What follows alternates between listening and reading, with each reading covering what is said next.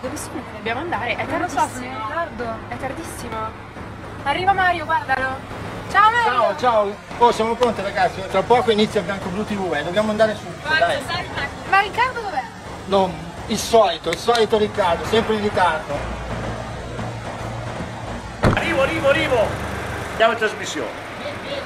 Andre, vieni che andiamo. Dai, dai, Eccoci. è bella sta macchina, mi piace un sacco.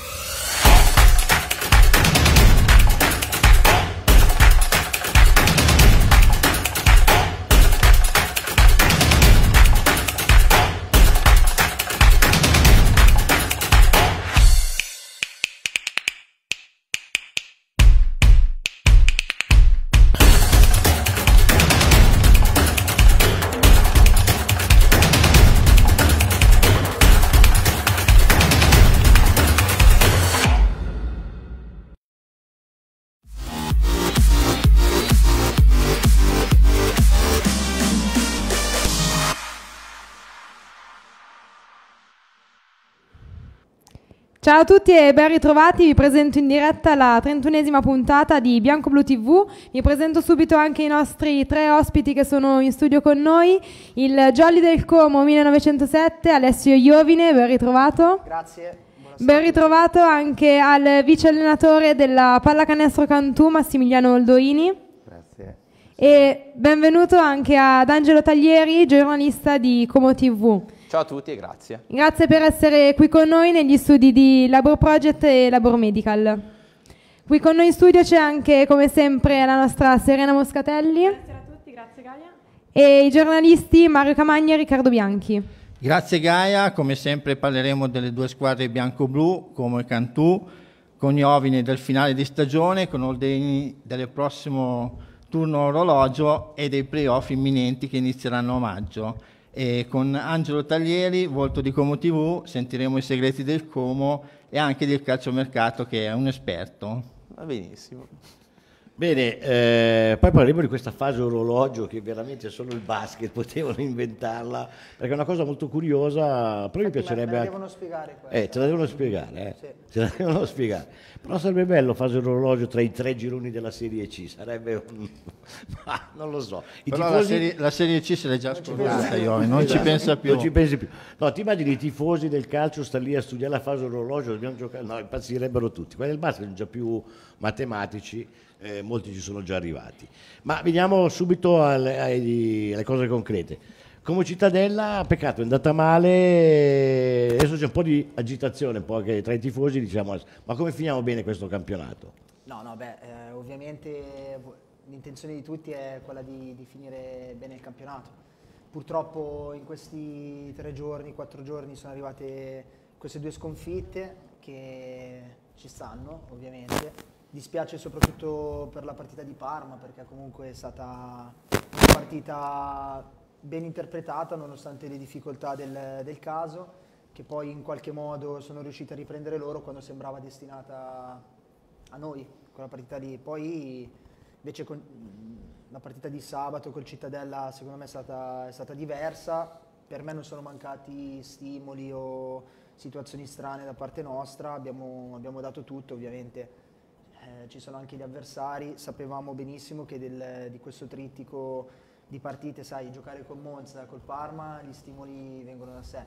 Giocare col Cittadella, con una squadra organizzata, una squadra rognosa che, che comunque gioca anche bene, gioca un Bene, buon calcio, sapevamo che sarebbe stato molto complicato e purtroppo è arrivata questa sconfitta, però sicuramente mancano ancora quattro partite e l'obiettivo nostro è di cercare di vincerle tutte ovviamente. Ecco, coach eh, Odoini, le motivazioni nello sport sono, alla base. Beh, sono fondamentali perché comunque le stagioni eh, sono, sono lunghe, sono intense e si cerca sempre di fare il miglior risultato possibile. Noi adesso abbiamo finito la stagione regolare con 21 vittorie e 5 sconfitte, ma non basta. Quindi dobbiamo ancora scavare dentro di noi per poter riuscire a, a centrare l'obiettivo finale. Angelo Taglieri, tu ci sei sempre a seguire il Como, la tua analisi sulla gara di sabato e sul campionato del Como. campionato alla grande, perché se una squadra deve raggiungere la salvezza la raggiunge con sei giornate d'anticipo, non c'è niente da dire, è una squadra che sorprende sempre perché si, si riscopre forte ogni partita nonostante le difficoltà perché le assenze sono, sono sempre tante, contro, la, contro, il Cittadella ci sta una sconfitta, il nostro regista Danilo Fasolino direbbe è una squadra perniciosa, in Serie B ci sono squadre difficili da affrontare, il Cittadella è una di queste, uomo contro uomo tutta la partita, ti complica un po' i piani, poi eh, il vento è stato un avversario del Como domenica perché ce l'aveva contro però non ce l'aveva a favore perché il vento di fatto poi c'è stato il secondo tempo. Però ripeto, è una squadra che ha fatto il suo sorprendendo tanti perché le critiche inizio stagione erano davvero, davvero tante, c'era un po' di scetticismo, invece è una squadra che ha risposto eh, alla grande partendo dal ragazzo che è qui alla mia sinistra.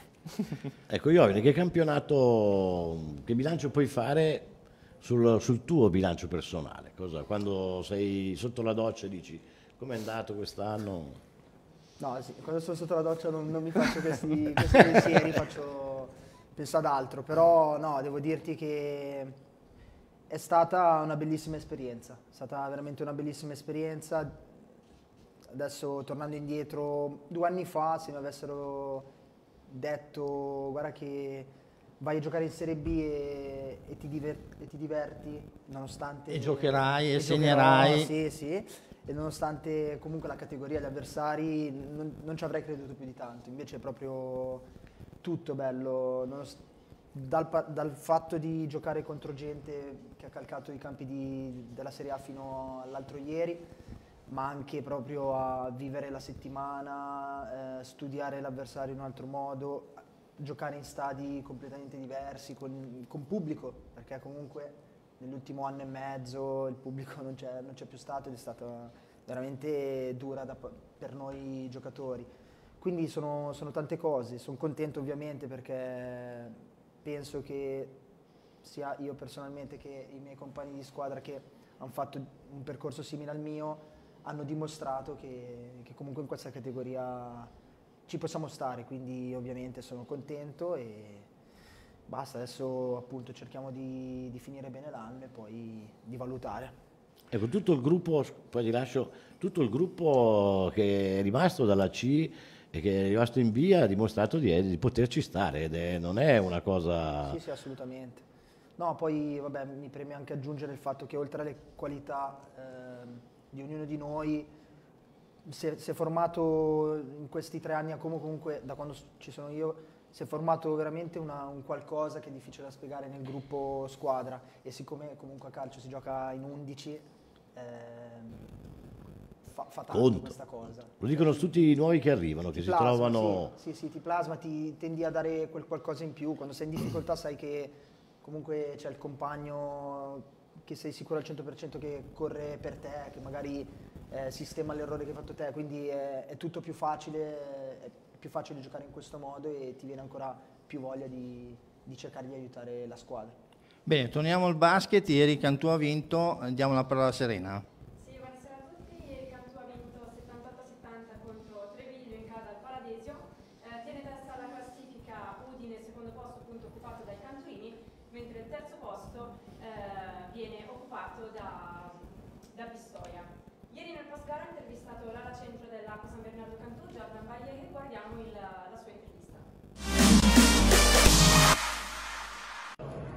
Buonasera a tutti amici di Sport Como, si chiude con una vittoria a favore dei Canturini, 78 a 70 che vincono contro Treviglio questa sera qui al Padovan Cadisio.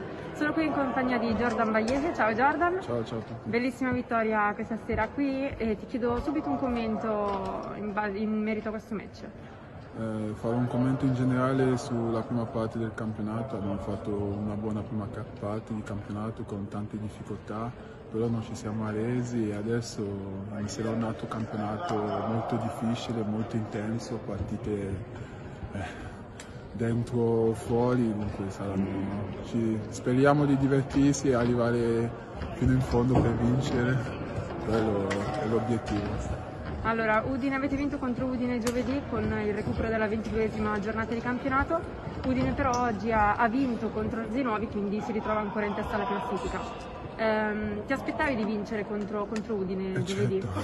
Siamo andati lì per vincere perché comunque vincendo lì e se Udine avrebbe perso oggi sarebbe stata una bella cosa per noi. Visto che non è il caso ci sono altre quattro partite di- della fase a orologio e siamo lì dietro e aspettiamo un passo falso loro per prendere la testa della classifica.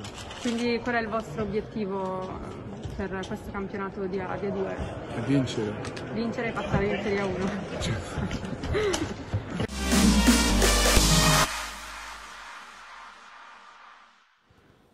Rieccoci in studio, sempre ieri nel post partita il nostro opinionista Mario Nicolini ha fatto un commento sulla gara, ascoltiamo il suo servizio. Ecco, direi che chiudiamo al meglio questa stagione regolare.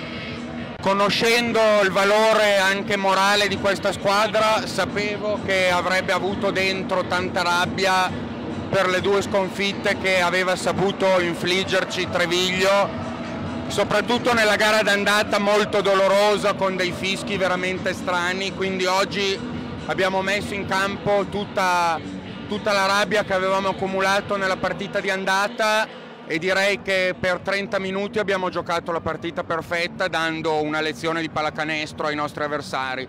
Dopodiché ci sono state delle iniziative individuali da parte loro che li hanno riportati un po' sotto, ma siamo stati proprio bravi a non scomporci.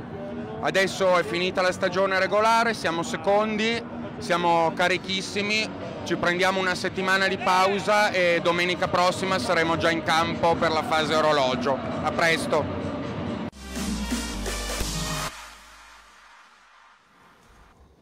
Eccoci rientrati in studio, guardiamo subito lo schemino che va a rappresentare le quattro gare della fase orologio.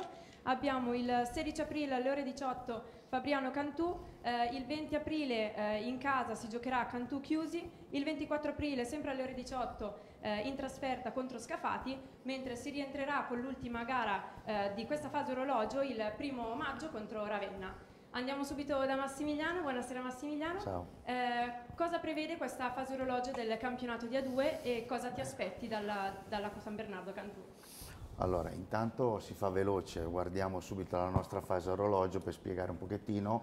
Noi adesso affronteremo quattro partite, quindi non c'è andata e ritorno, c'è solo un turno e giochiamo praticamente con le squadre dell'altro girone, con la prima e l'ultima in trasferta e con la, la terza e la, e la quarta in casa.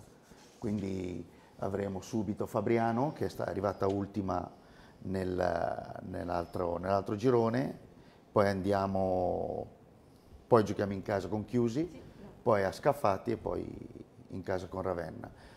Ci por- praticamente quando si vince si portano dietro i punti e quindi poi alla fine si aggiorna la classifica. Esatto, che la classifica non è definitiva attualmente No, perché attualmente si chiude no. il girone di ritorno, però ci sono ancora queste quattro Chiaro. fasi orologio. Chiaro, Tutti gare. giocano quattro partite. Esatto.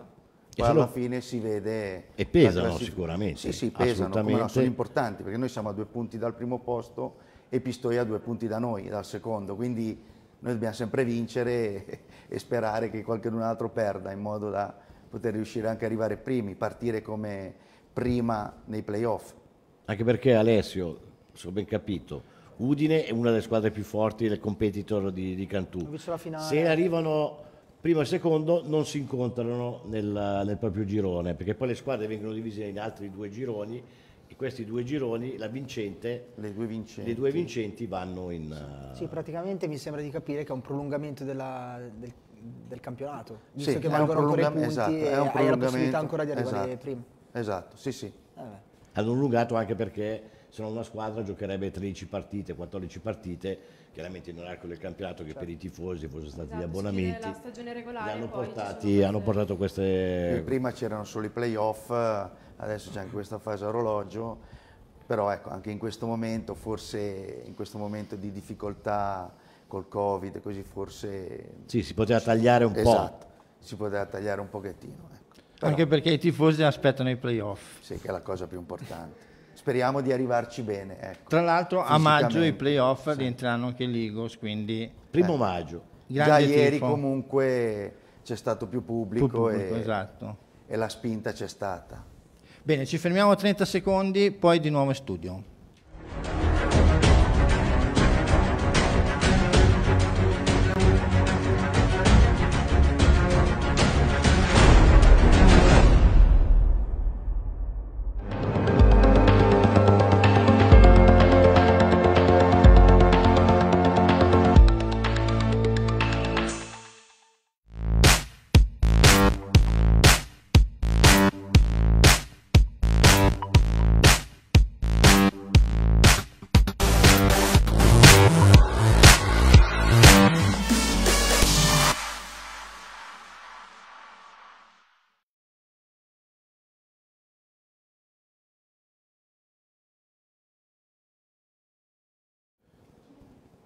Ecco, rieccoci in studio, eh, passiamo alle domande da casa. Enrico chiede ad Alessio se, qual è il giocatore che ti ha dato più filo da torcere e se sai già se il ritiro precampionato sarà a Bormio. Allora, ritiro precampionato non, ovviamente non so nulla, cioè, anche perché la stagione è ancora abbastanza lunga, mentre mi pare di aver già risposto tra l'altro alla domanda del calciatore che mi ha più impressionato, dico proprio a livello generale Palacio, perché oltre al giocatore che è ancora, che va veramente forte ancora, nonostante i 40 anni, infatti mi ha fatto sentire vecchio, è, ehm, è proprio esemplare a livello comportamentale, ha, in tutte e due le partite non ha detto una parola fuori posto, eh, è sempre stato disponibile, ovviamente siamo andati a chiedergli la maglia in tanti, ha cercato di di, di, soddisfare un po' tutti, quindi sicuramente lui è l'esempio perfetto di giocatore professionista che è esemplare, che anche in Serie A faceva comunque la differenza, quindi lui mi ha impressionato tanto. Poi vabbè, ovviamente devo dire anche Buffon, che con, ovviamente è stato uno dei miei idoli da, da bambino. Vado a guardare di più il lato comportamentale. Lui ha aspettato tutti nel sottopassaggio di, lì a Como, a Senigallia, nella, nella partita d'andata e ha dato una pacca a tutti, quindi si è comportato veramente bene, comunque sa il, la figura che è e quindi anche una semplice pacca a uno come me, diciamo, ma... È un grande campione felice. anche fuori dal campo. Sì, sì, sì, almeno con noi personalmente posso solo parlarne bene. E invece Riccardo Castiglione dice che è passato a Sant'Elia e ha detto che eh, dobbiamo tornare dopo la fine del campionato con una vittoria e con un gol del numero 6. Riusciamo a fare almeno uno di questi due obiettivi? Sicuramente torniamo al Sant'Elia, ecco. quindi quello lì più andiamo, è più facile. Andiamo a salutare tutti gli ex professori e ci, ci beviamo una Coca-Cola insieme. Speriamo dai, di concludere bene, visto che dopo la prima giornata mi sono fermato, quindi oh. sicuramente sì. E poi chiede anche quale fra i tuoi compagni terresti in squadra eh, di quelli in prestito. Mm, si può dire tutti? no, non si può dire. No, no, sì. allora a livello di campo comunque hanno dato tanto tutti. Se, secondo me anche questo in parte lo, lo dobbiamo al gruppo che, che si è creato eh, da noi, perché comunque chi arriva sta bene, chi, chi, arriva da, da, sempre il meglio di sé, molti fanno delle stagio le stagioni migliori qui con noi, quindi sicuramente qualcosa di buono l'abbiamo fatto anche noi della, della vecchia guardia. È normale che sai, mm, in un anno ti vedi tutti i giorni, quindi si instaurano anche rapporti personali, cioè stretti. Eh, io veramente li terrei tutti, è normale che sappiamo benissimo che ogni anno le cose cambiano, ci sono i soliti cambi, cioè chi entra, chi esce, fa parte del calcio, si cerca sempre di rimanere in contatto e, e basta, quindi vedremo, vedremo un po' come andranno queste settimane qua. Certo, grazie. Ecco, Angelo Taglieri, tu che segui con attenzione tutti i ragazzi e tutto, noi lo diciamo, però tu che vivi all'interno, è vero, tutti quelli che sono arrivati vogliono rimanere, quelli in prestito. Sì, vogliono rimanere. L'ultimo Ciciretti che l'abbiamo eh. intervistato dopo il gran gol che ha fatto contro il Cittadella, te l'ho detto più volte, io qua sto benissimo, eh, lui è uno di quei giocatori in prestito, però è chiaro che se arriva con la testa giusta come è arrivato a Como può fare la differenza perché ha una qualità tecnica fuori categoria quasi in, in Serie B, però è vero, evidentemente sono bravi loro loro, cioè parlo di loro nel senso Iovine, Gabrielloni, Facchin, questi giocatori che hanno eh, Bellemo, Arrigoni, che hanno costruito diciamo, la promozione dalla C alla B e che sono stati bravissimi ad accogliere giocatori come Alberto Cerri che aveva un'esperienza completamente differente, come Nino Lagumina che aveva un'esperienza completamente differente, giocatori che arrivano dalla Serie A e che sono stati acquistati dai club importanti di Serie A come Cagliari e Sampdoria. Quindi eh, il segreto di questa squadra del gruppo ha fatto la differenza la passata stagione in momenti un po' difficili come magari sul termine della scorsa stagione che poi è arrivato eh, lo slancio finale vincendo contro l'Alessandria, ma anche in, nel girone, magari a inizio girone di ritorno dove la vittoria tardava un po' ad arrivare, eh, il gruppo ha fatto sicuramente la differenza e ripeto, da sottolineare la bravura di chi c'era già da prima ad accogliere i nuovi perché faccio un esempio, in qualsiasi eh, gruppo gli attaccanti magari si guardano sempre con un po' di invidia, certo. lui segna, l'altro non segna, invece sto vedendo tra Ettore Gliozzi, Gabrielloni, Cerri e Nino che sono tutti eh, uno in fianco all'altro, non è un caso che uno abbia fatto 9 gol, gli altri due 8 e, e Gabri 4, ma se non, gli, se non gli annullavano i due contro il Crotone erano 6, quindi questo significa qualcosa e lo si vede in campo. Tu sei un grande esperto di calciomercato, che calciomercato sarà quest'anno? Sarà un calciomercato strano, prima tra l'altro stavamo parlando di un giocatore del Como come magari Luca Vignali che è in prestito dallo Spezia, lo Spezia non può fare mercato, quindi ci penserà un po' se rilasciare un Vignali in prestito oppure tenerselo perché è un giocatore che fa tre ruoli, fa il terzino destro, fa il terzo di difesa, fa il quinto largo. Sarà un mercato in cui bisogna avere un po' di inventiva perché soldi eh, non ce ne sono tantissimi e in cui bisogna cercare magari di andare in altri, in altri, campionati, soprattutto lo si è visto nella, nella, nostra Serie A dove magari i tasselli giusti nei posti giusti possono fare eh, la differenza, l'ho fatto vedere il Milan per esempio con Megnani in porta che è andato a sostituire Donnarumma, Donnarumma migliore giocatore dell'Europeo, Megnan pagato meno di 15 milioni di euro eppure è uno dei migliori portieri della Serie A.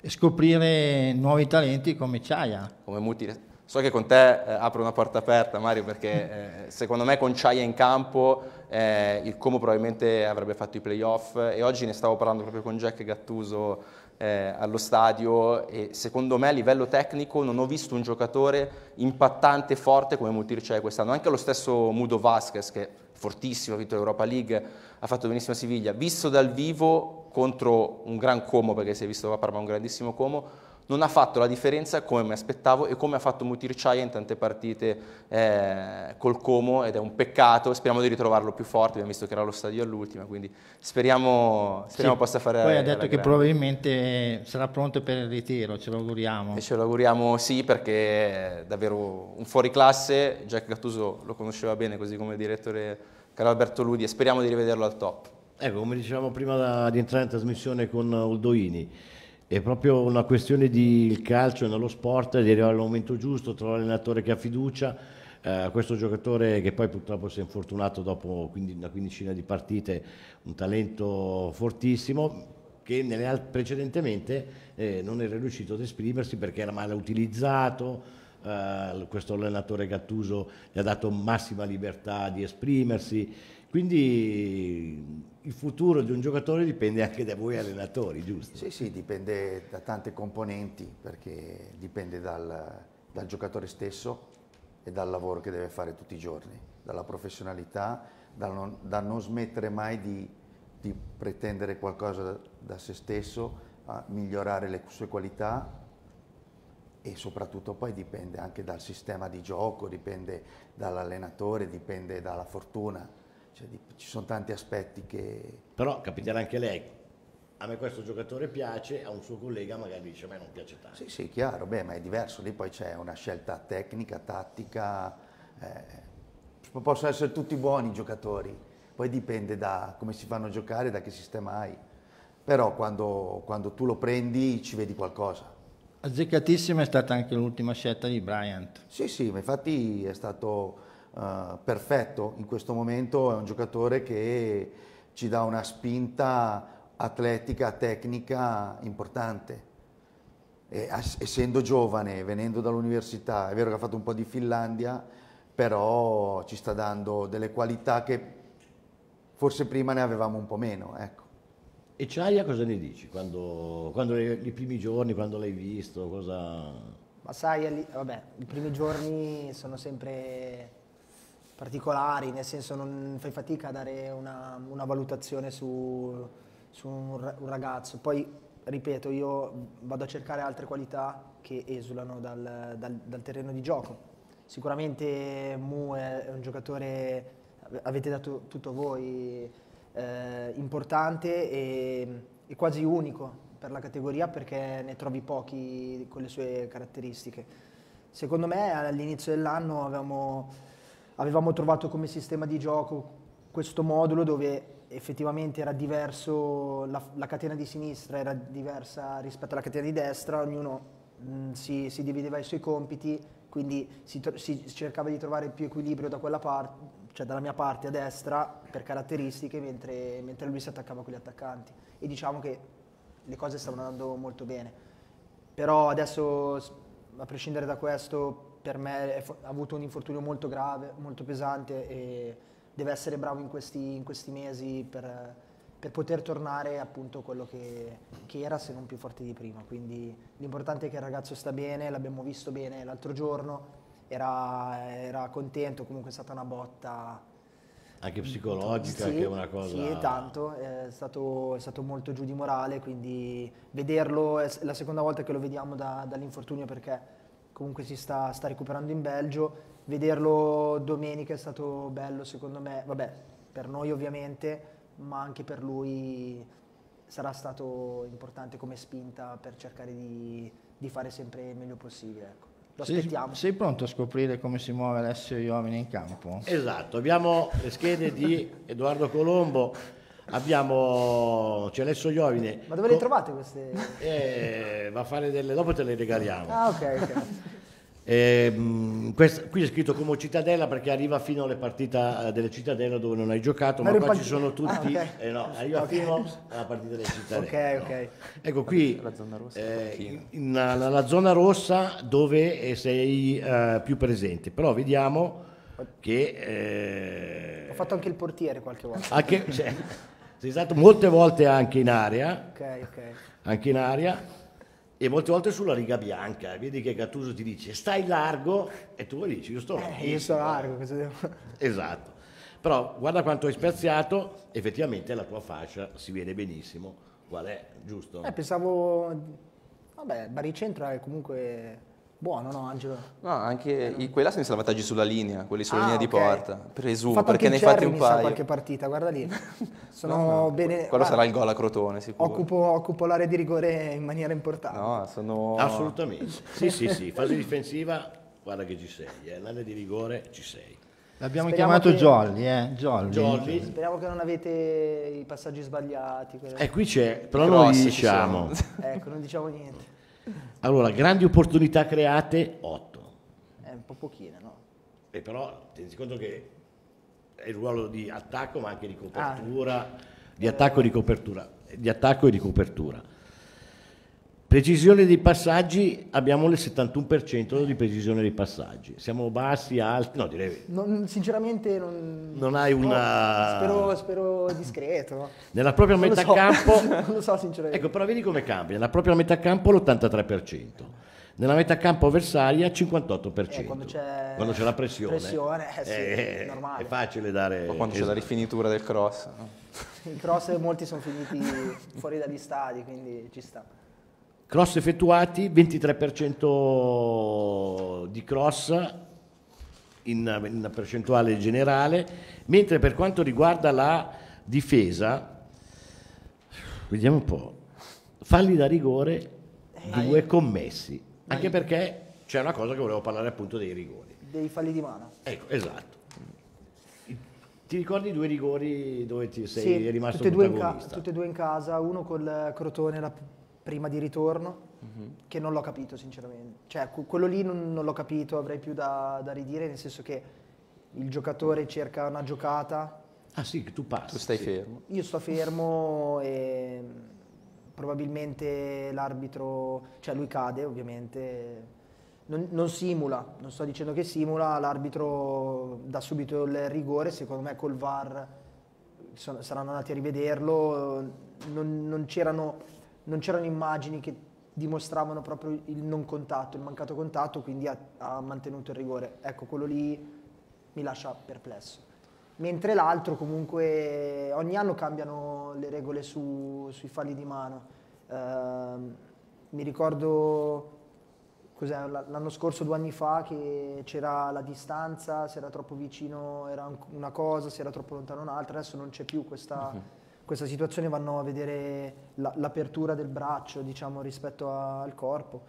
Se l'ha dato sicuramente c'è il rigore. Io ho cercato di, di anticipare il, il giocatore avversario gira- con- contro la Ternana. Contro la Ternana. Contro la Ternana ho cercato di, di anticipare Furlani in quell'occasione e nel girarmi per andare con il piede sinistro ho- mi sono portato praticamente il braccio un po', un po' alto, però cioè sono No, cose- no, no. diciamo che è difficile perché qualcuno dice di, di mettere le mani dietro, ma le braccia dietro, ma se ti punta un ciaia, diciamo che diventa un po' complicato. È più facile che cadi all'indietro mentre ti vieni puntato da un giocatore del genere.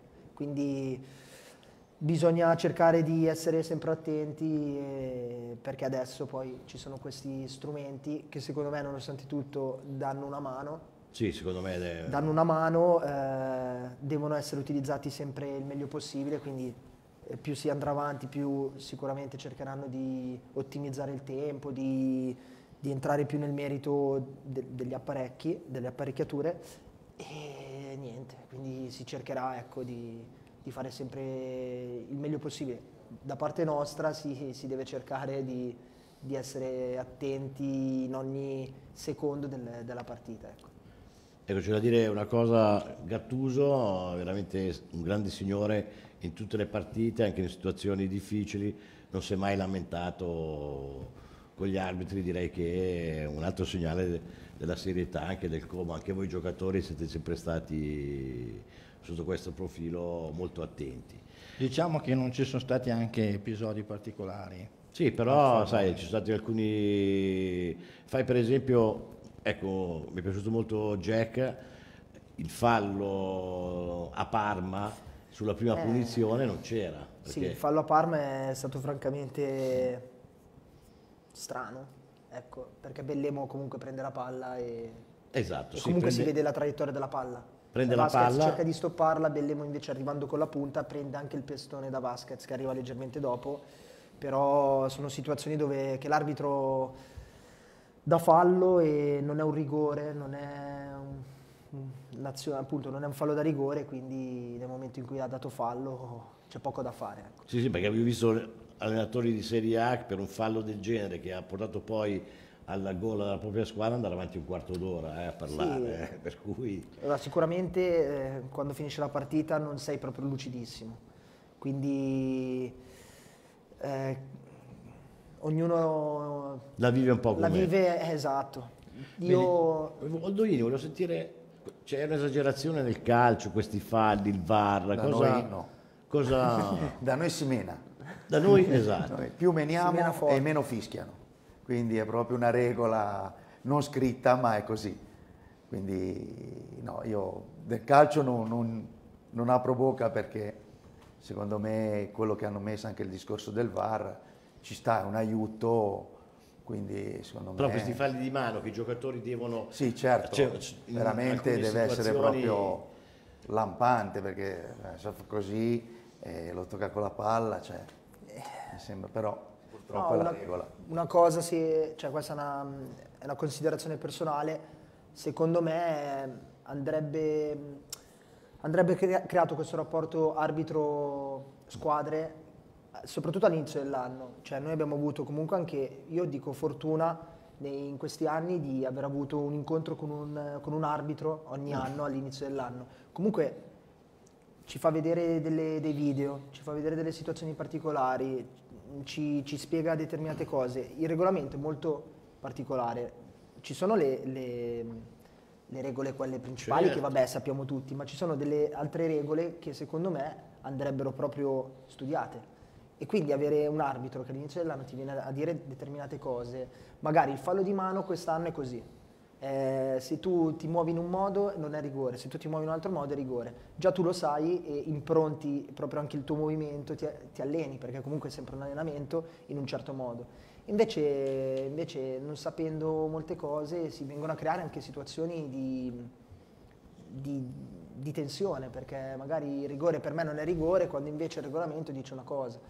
Quindi secondo me andrebbe fatto questa cosa. Sì. Anche perché ti faccio una battuta, piccola esperienza da arbitro. Molte volte ci si lamenta e dici, fatto il primo fallo e mi ammoniscono, ma se la squadra ha fatto sette falli consecutivi prima e tu sei l'ottavo giocatore che fa fallo, vieni ammonito. Però sono cose giustamente che dovrebbero spiegare. Col Crotone no? in casa io pensavo di aver preso un rigore, un rigore grosso come una casa perché c'è il difensore che si butta per terra e la palla carambola sulla sua mano, sul suo braccio, ma il braccio è completamente spostato, non è, non è attaccato al corpo. Io ero sicuro, l'arbitro è andato al VAR, sicuro del- della decisione del rigore, invece non era rigore perché? Perché se il giocatore appoggia la mano per terra, lì ti devi appoggiare nel terreno di gioco non è, non è rigore. Eh. Questa cosa non la sapevo. Ah, e eh. la squadra, la- ovviamente noi siamo andati tutti contro l'arbitro, così se all'inizio dell'anno l'arbitro ti, ti spiega questa situazione qua, probabilmente nel momento in cui succede mh, Sì, sai già che vero. non è calcio di rigore. Bravissimo. Era, è un esempio No, che no, faccio, un ma ce ne sono esempio- veramente tanti su, Eh. su situazioni proprio più piccole. Ecco. Iniziamo a parlare delle prossime gare di Como e Cantù. Eh, a Pasquetta c'è Pisa Como, vediamo i precedenti con Enrico Levrini. Come Pisa nella loro storia si sono incontrati 25 volte, 17 volte in Serie A e B. Il bilancio in trasferta è favorevole ai pisani che su 12 partite giocate all'Arena Garibaldi ne hanno vinte 4, pareggiate 6 e perse solo 2. La prima vittoria a Pisa risale a 42 anni fa, quando nel campionato 1970-1980 si vinse per 1-0 con un gran gol di Marco Nicoletti. Una vittoria fondamentale che ci lanciò verso la Serie A. Nella partita di andata gli azzurri persero per 1-0 per un autogol di Scaglia. Fra i numerosi ex giocatori che hanno giocato con entrambe le maglie troviamo Davide Di Quinzio al Como nella stagione 2016-2017 e l'attuale bomber dei toscani Ernesto Torregrossa al Como nel 2012-2013. Questo ed altro sul Museo del Como e sempre Forza Como.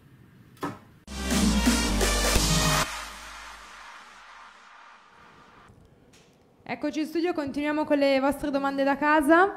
Eh, per eh, Angelo, eh, Giacomo dice che quest'anno ci sono mancate solo le telecronache di Angelo Taglieri.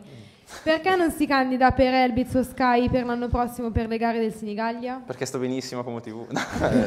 e se vuole ascoltarle può andare su Mola, chiaramente qualche giorno dopo perché Mola non ha i diritti per far vedere le partite in diretta della Serie B e può ascoltarle tranquillamente. E, e niente, grazie, sono contento. E invece Riccardo chiede ehm, che gli speciali, se gli speciali con le interviste ai tifosi torneranno su Como TV.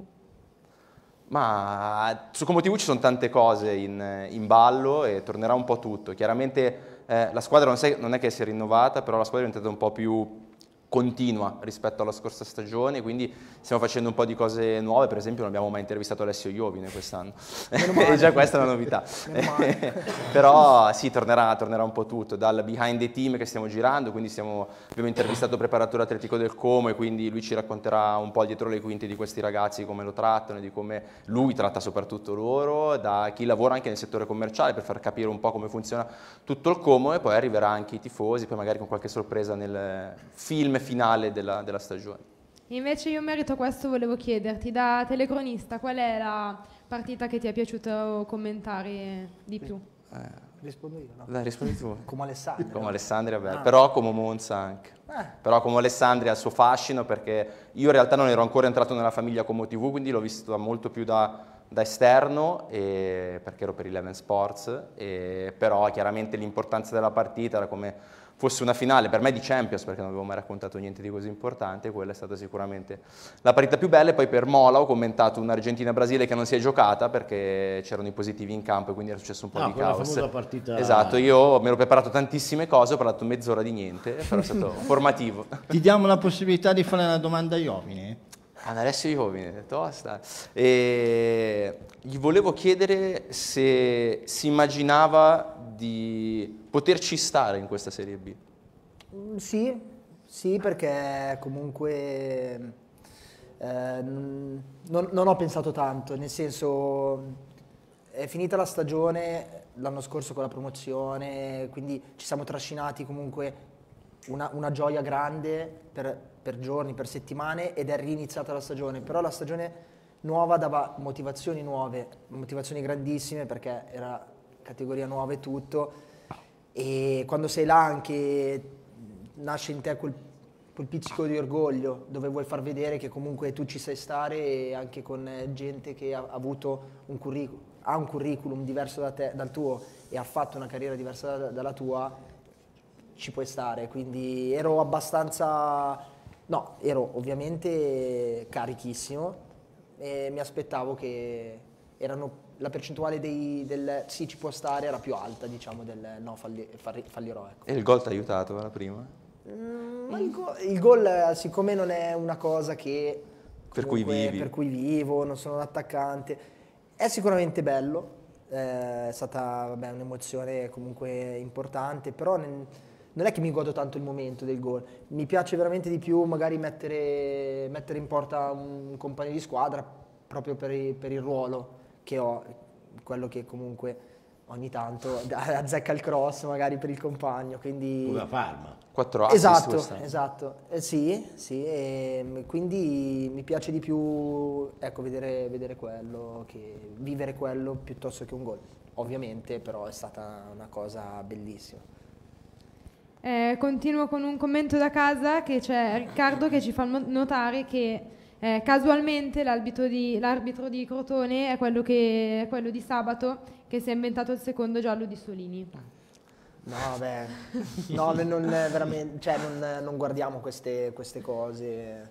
Quindi- Anzi, anzi, ritornando al discorso di prima, anche l'arbitro, cioè, conoscere un arbitro, i- i- le partite che ha fatto, i cartellini che ha dato, i rigori che ha dato, che tipo di arbitro è, se- con cui uno con cui puoi avere un dialogo piuttosto che uno che se la prende, cioè, queste cose so- influiscono in maniera in- importante secondo me e diciamo che non, non siamo molto preparati ecco, su, su queste situazioni qua, quindi è semplicemente capitato. Non, non crederò mai che un arbitro veda una squadra in un certo modo rispetto a tutte le altre. E invece cambiando argomento, ehm, ti sarebbe conti- piaciuto continuare gli studi dopo le superiori e cosa ti sarebbe piaciuto fare? No, e sinceramente, allora, mi di- spero Qui che... che arriva No, spero che i miei genitori non stiano guardando... O dall'ufficio stampa arriva questa No, diciamo che, allora, mi, mi interesso di molte cose, mi piacciono molte cose. eh,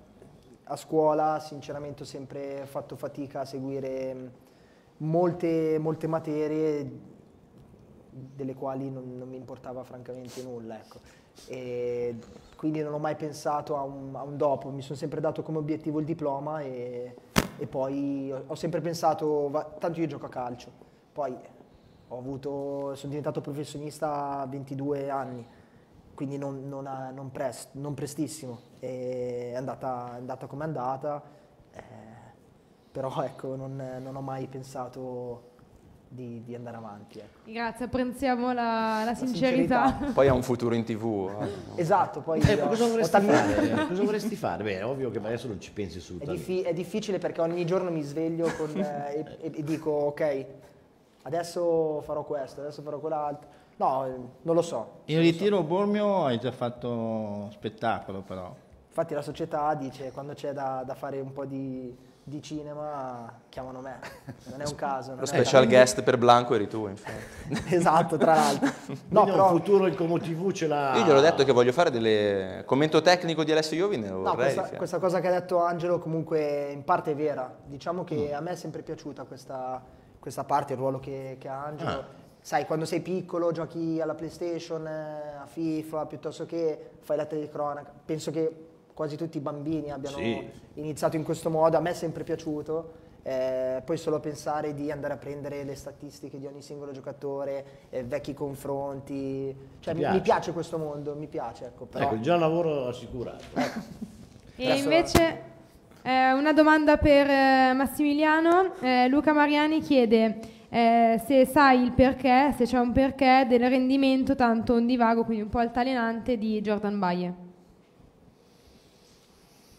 Ma sinceramente, sai, alcune volte non dipende nemmeno da- dal giocatore stesso. Ci sono delle problematiche come possono essere i falli, eh, dove alcune volte, prima si parlava di arbitraggio, vengono chiamate delle situazioni che oggettivamente non ci sono. Quindi poi nella partita, dopo due, due minuti fai due falli, ecco lì che mentalmente puoi calare oppure puoi perdere la concentrazione, questo è. Ma se no il ragazzo mi sembra che abbia fatto una buona stagione, anzi ultimamente ha fatto un buonissimo lavoro anche individualmente.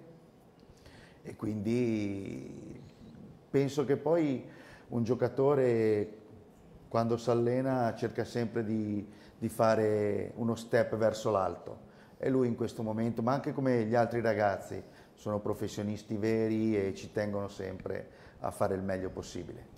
Massimiliano, prossima partita di Cantù, sabato a Fabriano sì. contro l'ultima dell'altro girone. Sì, sai, guardare la classifica, sì, lascia il tempo che trova, nel senso che, è vero, sono arrivati ultimi, ma bisogna analizzare un po' la stagione intera di questa squadra, dove prima erano, giocavano in un palasport, poi eh, sono immigrati in un altro, poi ancora in un altro ancora, poi le problematiche fisiche, poi il Covid, così il cambio dell'allenatore, insomma, ah, sono state... Sono tanti stati problemi. Tanti problemi, però è una partita che non va presa sotto gamba, ecco. Dai, facciamo l'ultima pausa di 15 secondi, poi di nuovo in studio.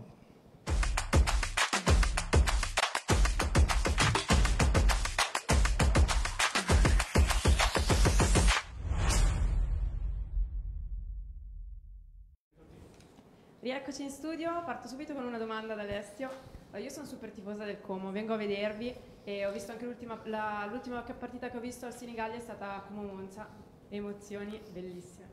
Però io so che tu sei un tifoso della, di, della Cosa San Bernardo Cantù e qualche volta vieni anche a vedere le partite. Da dove è nato il tuo amore per, per questa squadra? Allora, eh, il, mio, il, mio, amore è nato perché ho fatto il Sant'Elia Cantù e mm, quindi in prima superiore quando, quando ho conosciuto nuovi, nuovi, ragazzi, molti erano di Cantù, soprattutto uno, eh, Daniele Sironi, vabbè, che so che ogni tanto segue anche il programma eh, mi, hanno, mi, hanno, mi, hanno, invitato a vedere le partite di Cantù al Pianella. Ovviamente erano altri tempi, c'era una squadra... Bellissimi al Pianella. Sì, cioè, sono riuscito a vedere Stone, Rook, okay. per dire, eh, vabbè Mazzarino è stato tanto tempo. Poi l'atmosfera a Pianella. A me l'atmosfera, cioè il fatto che comunque ogni canestro cioè, viene, giù, viene giù il Pianella, mentre al, al, allo stadio, cioè a calcio, se finisce 0-0 sì, c'è l'occasione piuttosto che, però questa cosa qua mi aveva proprio lasciato secco e quindi da quel momento lì ho iniziato sempre a seguire le, le vicende, poi ovviamente nei tempi di durante la scuola riuscivamo anche riuscivo ad andare a vedere qualche partita, avevo anche un vicino di casa dei miei genitori tifosissimo, quindi trovavamo i biglietti, venivamo, venivamo su e da lì mi sono appassionato. Però vabbè, ovviamente adesso è, è più bello perché prima magari conoscevo poco. Un'altra cosa che mi, mi, mi lasciava quando vedevo tutti i tifosi che si alzavano a chiamare i passi e io non capivo, dicevo ma no, sta, ha fatto una, una, cosa normale.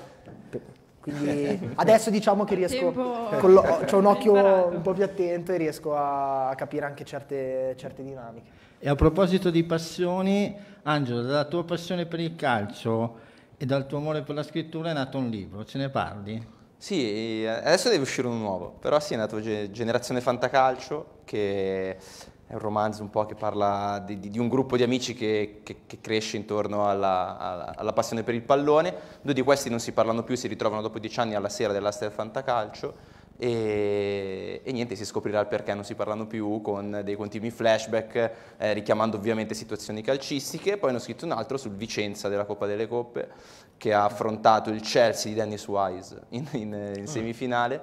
E lì è una storia un po' differente perché ho fatto un po' cronaca, un po' intervistato da Ambrosini a Zauli a a Mister Guidolin tutti gli ex Bello. giocatori del Vicenza, anche Gianfranco Zola perché era un po' l'emblema di quel Chelsea lì e raccontiamo quella cavalcata del Vicenza, non sono di Vicenza, non ho mai tifato Vicenza, però spesso noi in Italia andiamo a cercare delle storie all'estero bellissime, in Argentina, in Sud America, in Spagna, però anche in Italia ci sono tante belle storie da raccontare, secondo me questa era una di quelle. E come sei nato giornalista? Per caso. La Io- tua- tanti ragazzi sognano di fare il tuo mestiere, il Io- nostro mestiere, ma non è facile. Nasco bibliotecario in realtà, Ah. quindi eh, amavo leggere le storie e non raccontarle.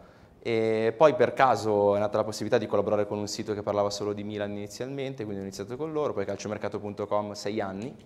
Nel frattempo la possibilità di fare le telecronache e Eleven Sports ti affila a una squadra e a me mi ha messo insieme al Como e è andata bene perché Eh, poi veramente. sono nate tante opportunità e da Mola a conoscere Alessio Iovine, quindi Prima, prima Gian Erminio, eh. Prima Gian Erminio, esatto, quando Ale giocava anche alla Giana Quindi- e continuo a farle anche adesso, quelle di Serie C, perché mi diverte in realtà. Ah. Non sono mai andato a fare Lecco, me l'hanno chiesto, non sono andato a farlo, ma sono andato a fare la Giana, il Seregno, quindi la Prosesto, quelle qua, qua in zona, perché comunque una- quella delle telecronache è una passione, come diceva Alessio prima, la PlayStation... eh, tutti magari abbassavano il volume e facevano le telecronache. Poi una, cosa, una delle prime cose eh, che noti quando vai allo stadio per la prima volta è che non c'è la telecronaca. E quindi quella cosa mi è un po', mi è un po' rimasta, quella mi spiazzava un po', ho detto ma la voce che racconta la partita non c'è quando ero bambino. Quindi Ah, quella sì. cosa mi è rimasta un po' dentro e quindi è nata questa cosa qui. Ecco, adesso invece volevo mandarti visto che è, vedere, è stato vedere la pallacanestro. Ma ti immagini giocare in quel casino? Come fanno? Tu per esempio non senti il pubblico, ci sono giocatori che mi dicono che non sentono niente, i fattori esterni. Mm, No, tu- quello è, vero, cioè, eh, quello è vero, nel senso, comunque quando inizia la partita, sì, senti... Riesce, sì, vi Sì. siete a- quasi tutti riusciti a proprio a... Sì, almeno personalmente è così. Poi magari anche, non lo so, eh, sono in tanti anni, le tante partite che, che- che ho accumulato, che mi, mi permettono di, di pensare solamente a quello. Ma delle volte scherziamo anche con, eh, con i compagni di squadra, ad esempio con Vignali, che magari c'è un coro che ci piace, mentre giochiamo lo, lo canticchiamo, ma sono cose... Cioè, ognuno se la, se la non so come dire, si, si gioca la partita anche prima, nel- prima del match in, in un certo modo. E, però, ad esempio, partita di settimana scorsa col Monza è stato, è stato bellissimo, ovviamente deve arrivare anche il risultato per creare l'atmosfera giusta, però è stato Ma veramente la bello. spinta dei tifosi la sentite, sì. Assolutamente. Io ti faccio l'esempio, quest'anno tra tutte le partite eh, sen- l'ho sentita bene durante Como Parma, che abbiamo preso qualche calcio d'angolo, non abbiamo tirato un po', cioè Buffon non ha fatto grosse parate, però hai preso qualche angolo, sei, dopo aver sbagliato il rigore sei passato in vantaggio, hai cercato di creare qualcosa e ogni volta che si arrivava comunque sotto la curva, perché il secondo tempo si è giocato di lì, sentivo proprio il boato, le- la voglia anche del pubblico di spingere verso il risultato positivo. E delle volte lo senti di meno, delle volte di più. E, e niente, così. No, bello, bello, bello. Siamo in chiusura, facciamo qualche pronostico. Io volevo chiedere un pronostico, chi va in Serie A lo volevo chiedere ad Angelo e anche a Iovine. Vuoi iniziare tu Ale? Vediamo chi, chi ci azzecca. dirlo, però... Allora, io penso che in Serie A ci vanno il Lecce, il Monza, mi sa che Io ho detto Lecce Monza. potrebbe essere l'anno giusto del Monza. Poi i Angelo? playoff eh, Vabbè. Ah beh, playoff a è caso. difficile. Cioè, è Angelo? sempre difficile. Sono d'accordo con, con Ale, ne parlavamo anche oggi al lavoro. Lecce secondo me è la rosa proprio più forte della categoria ed è già strano che non sia in fuga. Monza è- non può più procrastinare, non può più andare troppo in là, cioè, ha fatto tanti investimenti l'anno scorso, deve per forza anche andare quest'anno. Mentre Massimiliano, quattro nomi di quattro squadre, due vanno, due Diciamo vanno- due vanno in Serie A, fai quattro nomi. Vabbè, mi auguro Cantù e poi secondo me Udine, quella rispetto a Verona e a Scafatti, è quella più, Più più attrezzata. attrezzata. sì. Ultimissimo, ma avete pronosticato due squadre, io Lecce sempre è piaciuto, e il Monza, dove il Como ha fatto grandi risultati, perché con Lecce non ha perso. Monza ha- l'ha battuto al ritorno, all'andata eh, stava pari, era strameritato, quindi un Como che sembra un discorso da bar, però... Ma anche il Como è una grande Eh, squadra, Como era- diciamo. Cosa ne dici Angelo? Cioè, non sono discorsi da bar, perché No, perché il Como con le grandi squadre ha sempre giocato, quelle grandi squadre sulla carta ha sempre giocato bene. Se tu aggiungi quei quattro punti che mancano a Lecce, di fatto è praticamente eh, in Serie A, ma anche con lo stesso Parma che al di là che eh, diciamo, non sta rispettando quelle che erano le attese, eh, hai giocato alla grande, anche al ritorno hai fatto una bellissima partita. Col Monza hai fatto una bellissima partita, col Pisa hai perso solamente 1-0 per un gol eh, deviato. È un Como che ha sempre giocato alla grande, forse l'unica partita eh, con, con, le top che non hai giocato benissimo è con la Cremonese, però erano tantissime assenze. Mi sembra che ha giocato Ale a centrocampo, giusto? Sì. Con la Cremonese. Sì, non Esatto, c'era Capitan Bellemo. Per, fa- per far capire com'era quella partita che faceva un po' storia a sé, però per il resto è un Como che con le grandi se l'è sempre giocato perché evidentemente quando magari ha più campo per attaccare e Sì. poter andare in verticale è una squadra che, che sa far male e lo ha dimostrato anche nelle ultimissime partite. Ci sono ancora domande da casa? Sì, da casa nel frattempo eh, si commenta sul futuro di Alessio, però sono d'accordo e dicono eh, che dovresti fare lo showman perché sei troppo simpatico, Grazie. quindi potresti avere un futuro. Magari c'è qualcuno che mi, offre, mi offrirà il lavoro. Ma hai tanti amici a casa, eh? Eh, lo so, lo so. Vabbè, ma perché appunto sono...